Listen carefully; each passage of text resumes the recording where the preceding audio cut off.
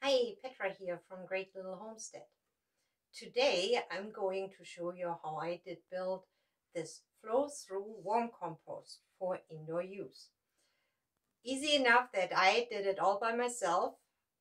I'm not a carpenter. I do not have special skills or anything. I just use basic tools and I'm happy about it.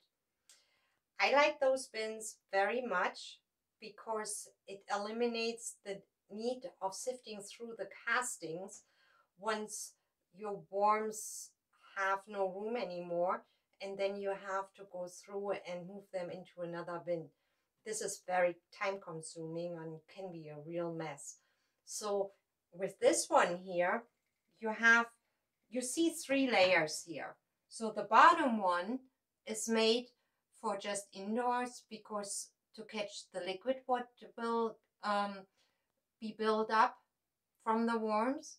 So that flows into a bucket. And you start with the bottom, or in this case, the middle frame here. You start with your worms in there, and while you add the food, they move up. They eat the food, and you have more and more castings in there, so they move up. Then they come into the second frame and the third, and so on, depending on how many frames you want to make. And then after a while, the bottom one, there are no worms anymore. So you remove all your frames, you take out the bottom one, you put your other frames back, uh, and then you have just the castings here and no worms anymore. I like this idea a lot. Also, you have the possibility to build as many frames as you like, as big as you want to go. Um, I do this indoors during winter because here in Canada it gets really, really cold and the worms will not survive that. So I opted to move them inside here in my little um, feed room where I prepare all the feed for the animals and everything.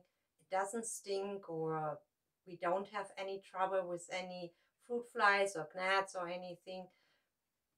So uh, I don't mind that for a few months during the year. In summer, they go back outside in a shady place. But enough for that, or enough of that for now. Let's get started with the actual project of building this. Okay, I would just say, let's get started. First, all the material we're gonna need to build this. I need to make a tray to collect the worm tea. Since my bin is going to be in the basement, I have to make sure I don't have the stuff on the floor and running everywhere. That wouldn't be so nice. So I got some 3 inch by 1 inch lumber and I cut it to size 18 inch and 24 inch.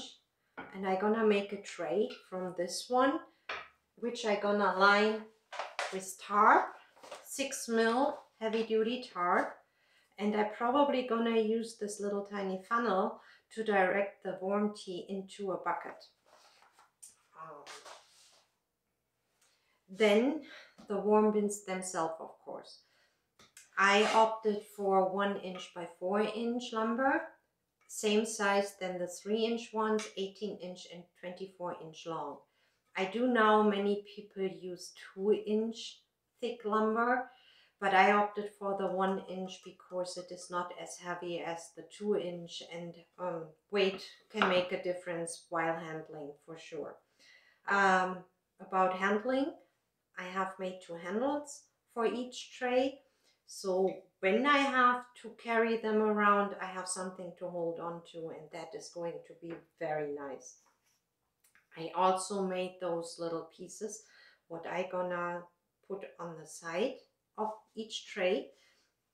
So when those trays are um, stuck on each other, on top of each other, they can't move. They are secure in place and can't fall off. Also, I have some washer screws, washers here, sorry, washers and matching screws for it. I'm gonna use those to secure hardware mesh in place, which is going underneath those worm trays. This one has quarter inch sized holes.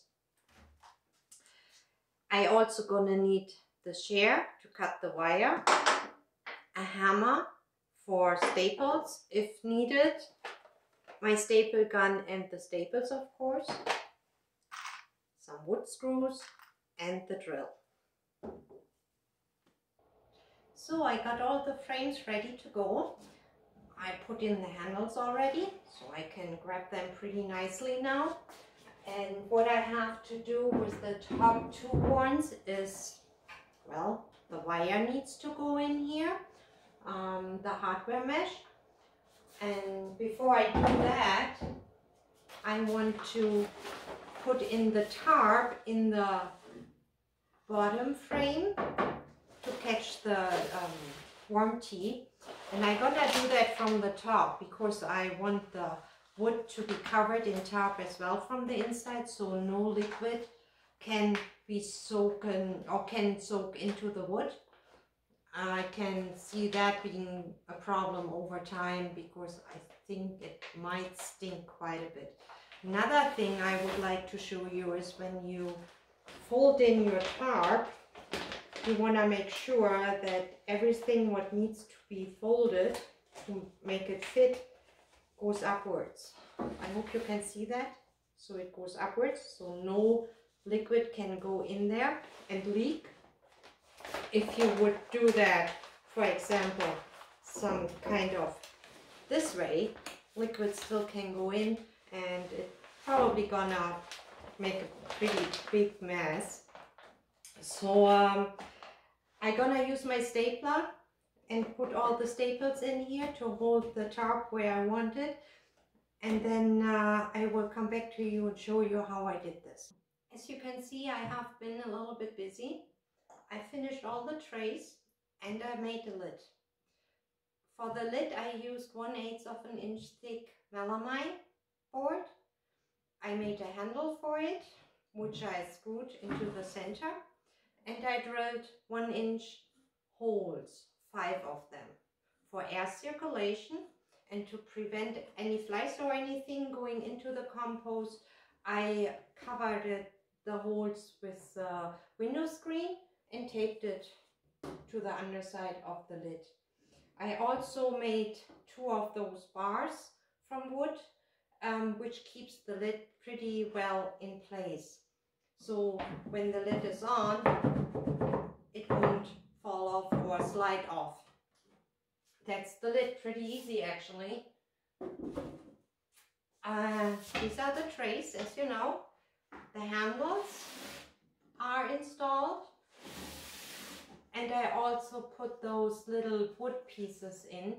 So um, when I handle the tray and put them in place, they don't fall off. I could see that important, not when you have just one tray or two, but when you stack more on each other and, and you handle them and then you push it by accident or whatever and then everything falls down. That would be really bad. So I already got the screen attached. After I have cut it to size, I stapled with a lot of staples. I stapled it on the wood frame and I also used the screws and the washers to just make it a little bit more secure and hold it a little bit better.